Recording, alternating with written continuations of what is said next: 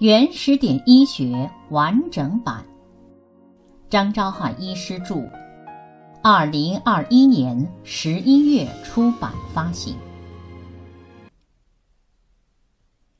十一，重病处理。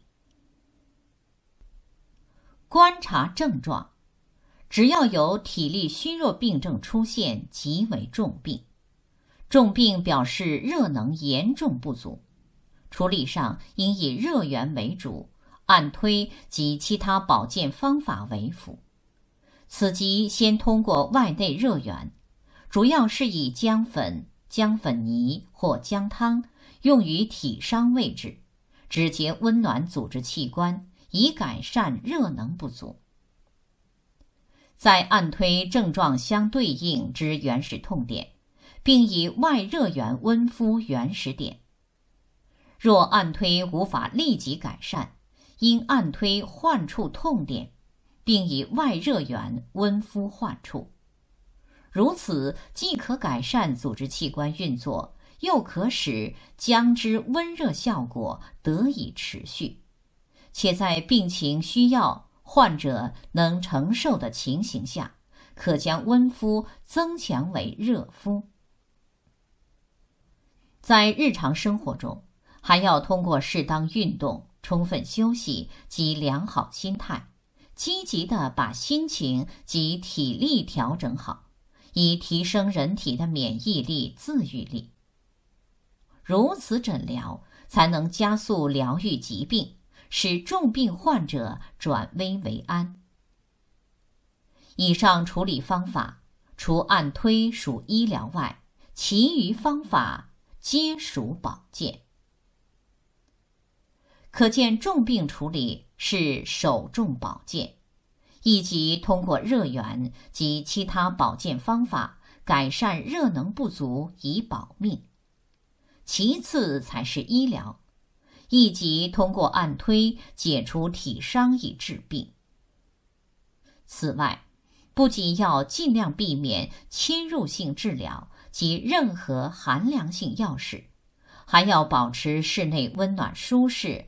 安静整洁及空气流通，如此既有助于修复体伤，也有助于巩固疗效。一、外内热源。处理重病患者，必须外内热源并用。外热源包括太阳光、温灸、热水袋、红豆袋、暖贴。各种电热产品、姜粉、姜粉泥、姜汤等。其中，姜粉、姜粉泥、姜汤可大面积涂抹或喷体伤位置，借由皮肤吸收，直接温暖身体。内热源包括姜片、姜粉、姜粉泥、姜汤、参片、参粉、参汤、辣椒。胡椒、花椒、咖喱等，可将其作为调味料应用在饮食，使任何食材都可煮成温热性食物，以利身体将其吸收转化为热能。其中姜粉、姜粉泥、姜汤，不仅可单独服用，以全面改善体质，还可借由灌肠。清洗、喷或滴鼻腔、口腔、眼睛、阴道，使其直达患处体伤，直接温暖器官。且在病情需要、患者能承受的情形下，可将温敷增强为热敷。例如，将姜与辣椒粉越细越好，或辣椒加花椒。所熬煮之浓汤混合使用，使姜汁药性由温转热。又如将电热器或电毯调至高温。总之，外内热源之姜，不仅要用于体伤位置，直接温暖组织器官，还要配合按推原始痛点乃至患处痛点，以及其他外热源。如暖贴、红豆袋、电热器等，并在生活中通过运动、休息及良好心态，以提升人体的免疫力、自愈力。如此才能改善体伤及热能不足，从而达到保命及疗愈疾病的目的。但法无定法，所有外内热源的使用，仍应以患者能接受吸收，且病情得以改善为最高原则。一、外热源。重病患者温敷时间可达二十四小时。至于居住环境，应保持安静整洁及空气流通，并且以患者感觉温暖舒服为宜。比如天气太热或太寒，可用空调调整室温。在临床上处理疾病症状乃至异常形态。可先于体伤位置用温热水冲洗，或电热器持续温敷，等皮肤温暖，再稍微用力将姜粉或姜粉泥做大面积涂抹至干掉为止，如此来回两到三遍。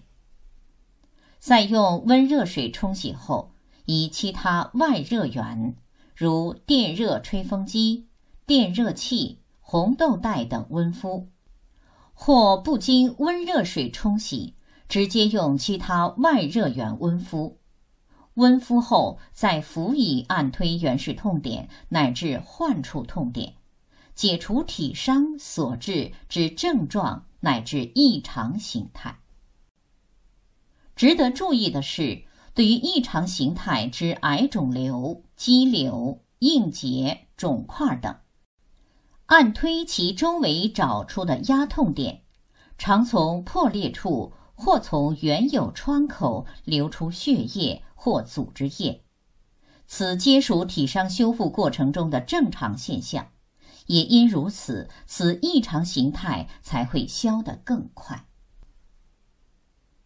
但创口流出的血液或组织液必须用姜汤清洗干净，否则结痂。会阻塞体内液体流出，以致病情反复延宕，甚至留下疤痕。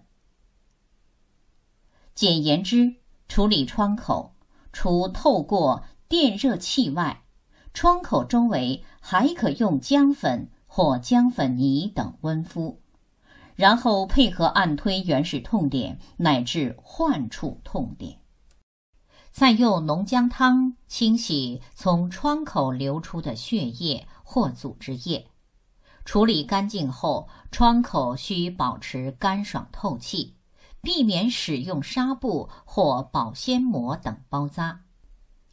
若病情严重，例如烫伤、毒液灼伤、肝血、乳癌爆开等，每天可用上述方法多次处理。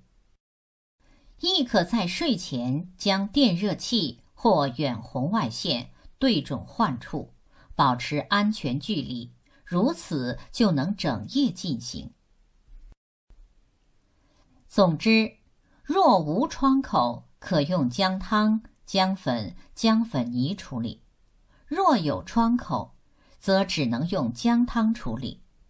但若患者觉得浓姜汤太刺激而不愿接受，在不得已情况下，亦可改用淡姜汤，或淡参汤，或淡姜参汤。二、内热源。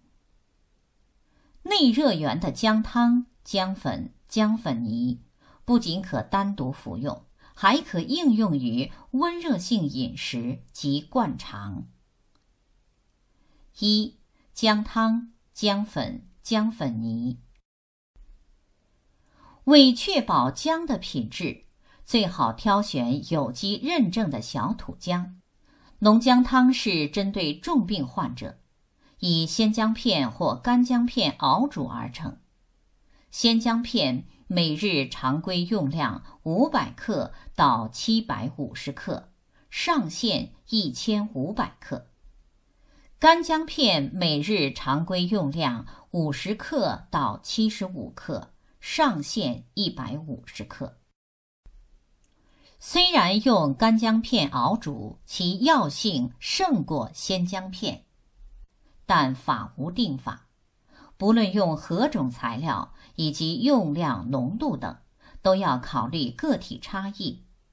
服用方法是少量多次，小口温热吞服，以使热源的补充源源不断。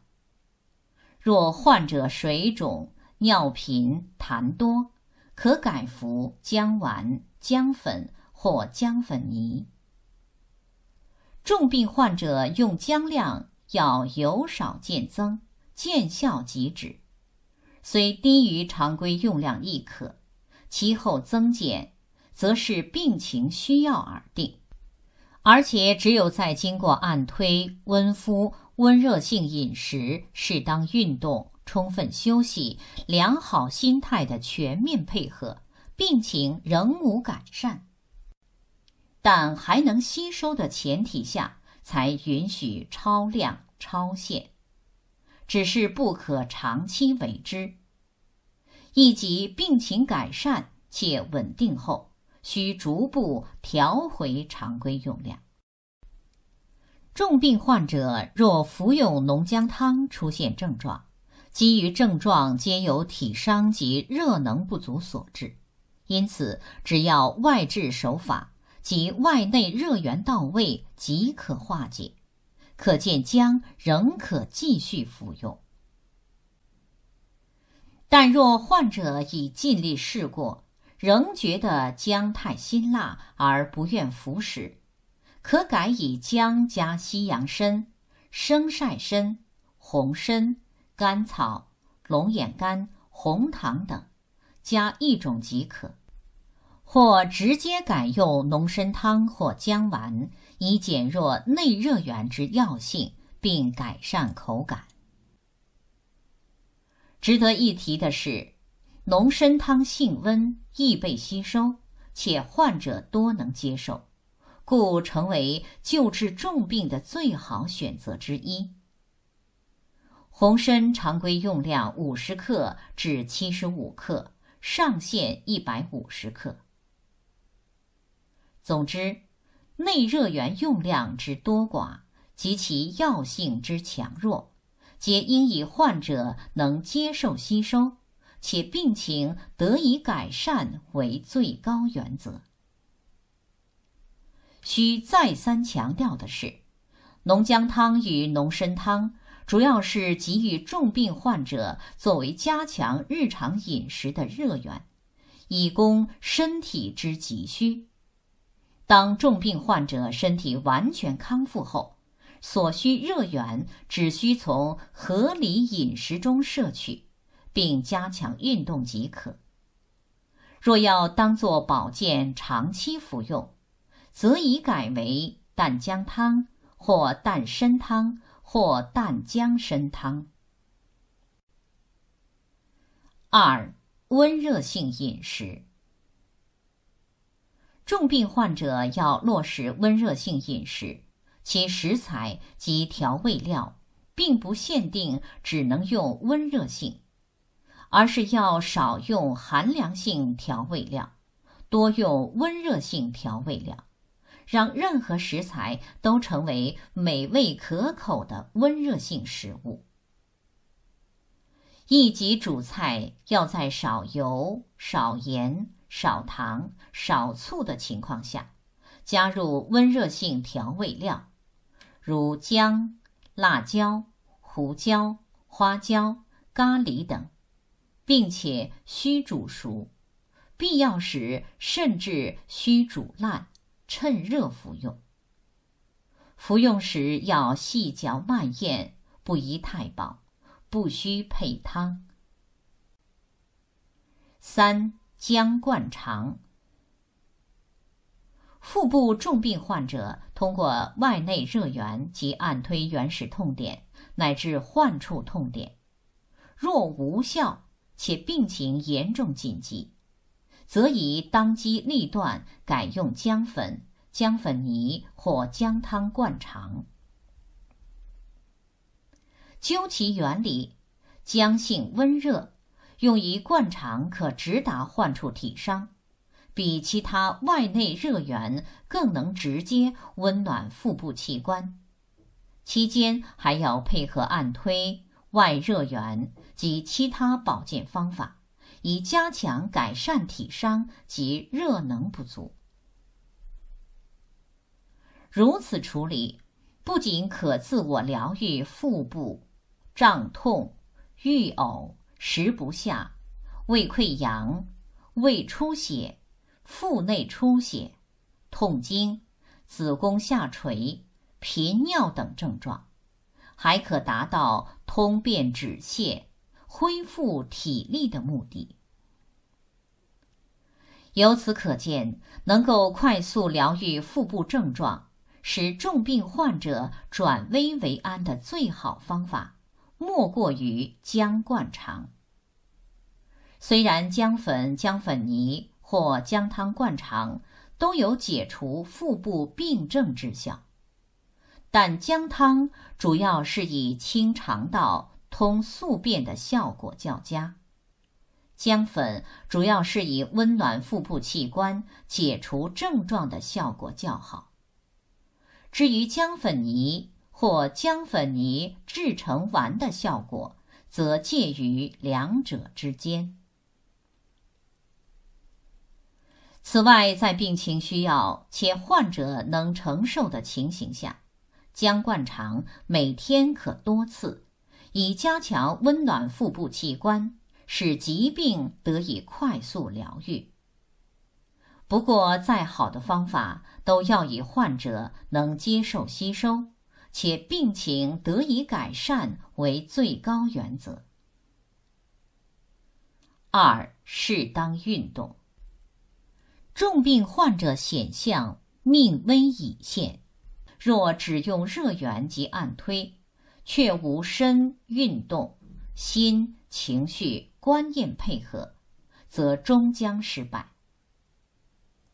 运动方式有拉筋、柔软操。太极拳、瑜伽、爬山、爬楼梯、俯地挺身、俯卧撑等，可针对身体不同部位的症状，选出有助于康复的运动方式。比如咳嗽、胸闷、手麻等病症，可选择俯地挺身；腿麻、膝痛、踝痛等病症。则可选择爬楼梯，一步两节。室外运动宜避免太冷或太热，易出汗怕冷者，静及身体前后可塞毛巾，既可保暖，事后又方便取出，常保身体及衣物干爽。运动贵在坚持，不可一曝十寒。且需量力而为。若要加量，应通过审慎评估，确认安全无虞，才能循序渐进，缓慢增加。否则过量，非但不能改善组织器官运作、恢复健康，反而会消耗大量热能，甚至危及生命。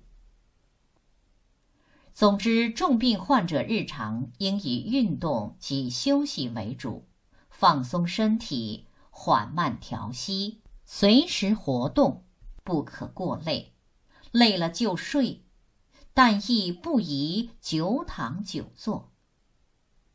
如此落实，等热能渐充，体力转佳，体伤改善，各种疾病症状自然都可自愈。